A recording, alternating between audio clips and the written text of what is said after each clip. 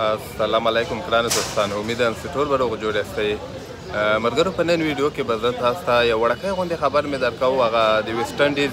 لیګ سی پي ایل که تاسو ته یاد سي د هغه ما تاسو ته هغه تېره ویډیو کې یو خبر درکړی و چې د دغه دغه ډرافټ دوباله ترسره کېدونکی ده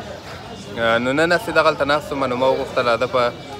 دغه خبر مې ذهن ته راغی نو راځه بس د کرکټ مینوال ته دغه خبر ورکړم اصل کې هغه ډرافټ چې کوم ده لوبولي سه ورته وایي لوبغاړي سه اخیستل کیږي د همدغه میاشتې که خیر شپږ ویشتم تاریخ باندې که خیر لوبغاړي اخیستل کیږي او زیاتره پکې د افغانستان لوبغاړي دي پنځلس دي که شپاړس د افغانستان لوبغاړي په دغه ډرافټ کې شامل کړي دي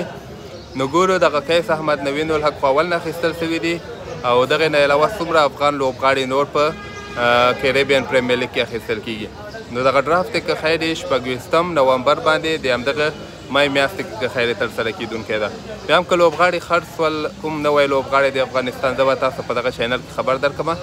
نو چینل در سره حتما سبسکرایب کړئ او نور ښه وخت ولرئ الله پامان